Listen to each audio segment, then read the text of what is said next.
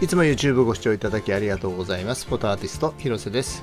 今回はですね、高級コンパクトカメラ、ツアー S の ZX1 に関する情報をお伝えしたいと思います。現在のところまだ日本発売のですね情報がないんですね。で2018年のフォトキナに発表されて2020年にはですねいよいよ発売かということになったんですけどもそれからまた2年経って未だに発売されていません。これ国内発売はいつになるのかちょっと気になるところなんですがいろいろな問題があるのかもしれないんですけどもカメラの内容としてどういうものなのかということで事前に情報をシェアしたいと思います。ZX1 のですねサンプル画像をダウンロードできますのでこちらのダウンロードをした画像を含めてですね XIS-ZX1 のですね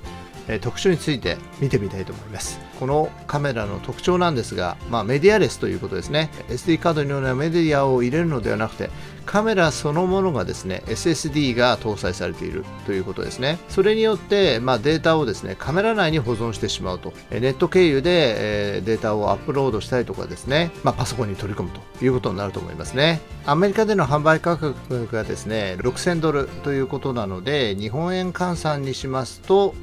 85万8124円。現在のレートですね。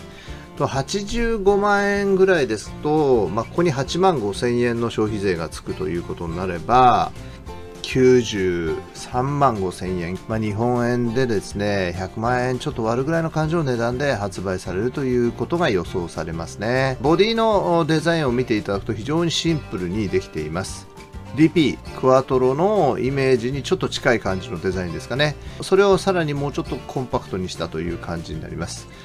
で YouTube の動画で見るとですねまあまあ大きさもそんなにコンパクトというほどコンパクトではないんですがかといって非常に大きいというものでもないので、まあ、一応コンパクトカメラという部類に入ってくると思います。でデータで言うとですねレンズがサイスディスタゴン35の F2 ビオゴンの 25mm ぐらいにしてもらうと良かったですよね。そうするとクロップ撮影も十分可能になりますからね。F2 から22までの絞りがあって ISO80 から5万1200の ISO 感度シャッタースピードが2000分の1から30秒。ちょっとここでわからないんですけどもバルブ撮影ができるとより良かったですね。どうなんでしょうか。この辺りが少し気になります。でディスプレイが4.3インチかなりクリアに見えるということを歌っております。イメージですね。カメラのドライブモード、シングル、継続、継続というのは連射だと思いますね。で、メモリですね。ここがちょっと違うんですが、512ギガのですね、SSD がすでに搭載されています。これによって SD カードを必要としないということですね。SD カードレスということですね。SD カードを使わずにカメラに全て保存をしてしまう。そしてそれを生データで読み込みすることができるということになりますね。また撮影して調整したものをですね、 Dropbox などのクラウドストレージに保存することもできるということになります。もう一つの特徴としてはですね、 Lightroom が内蔵されているということですね。まあ、ライトルームが内蔵されているのでカメラ内で全てを処理することができるということになります。まあ、言ってみればソフトウェア付きのカメラということになりますね。でカメラ内で調整をしてですね仕上げてそのままアップロードも可能であるというところを歌っております。まあ、この辺りですね、これだけの高画質な写真なので、モバイル用のライトルームよりもですね、ライトルームクラシックで調整することの方が多いんではないかなとも思いますが、簡単に調整してクラウド保存できるというところも、このカメラの魅力の一つであるということが言えますね。それでは実際の写真を見てみます。こちらがですね、60分の1絞り4で ISO640 で撮影されたデータ、マニュアルで撮影をしておりますね。この写真をまず見ていただきましょう。かなり自信があるというだけのことはあって、まあ、ほぼノイズはありません。これは DNG データだったので、ちょっと現像の状態見てみましょうか。こういうことでですね。特に現像はしてないですね。DNG データになってますけどね。現像はしていない状態、多分取って出しの画像だと思います。色温度だけ4200、まあ、その夜ですから4200になっているということなんですね。それで看板などのですね文字が非常にクリアに映っているというようなあ歌い文句でしたが、やはりその通りに、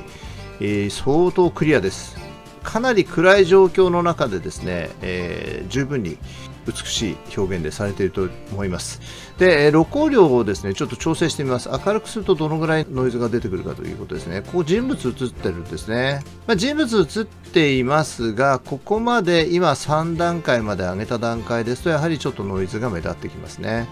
でちょっとこれをですねノイズ軽減でどの程度まで調整できるかちょっとやってみましょう。ノイズ軽減を使ってですねこのぐらいまで改善できますから結構シャドウ部のディティールの階調再現もいいということが言えると思いますね。ちょっともう一回元に戻してみますね。初期化します。全体の表現力は非常にいいと思います。えなかなかですね素晴らしい写りをするカメラであるということが分かりましたね。価格がまあ気になるところですが作品志向の方にとってはですね、ツアイス ZX1 ちょっと楽しみなカメラであるということが言えますね。まあ、ツアイスならではの美しいコントラストと会長、そして色再現、この辺りも十分ツアイスファンの心を掴んで離さないカメラになるという感じがします。どのような価格になるか分かりませんが、期待して日本発売を待ちたいと思います。それではまた YouTube でお会いしたいと思います。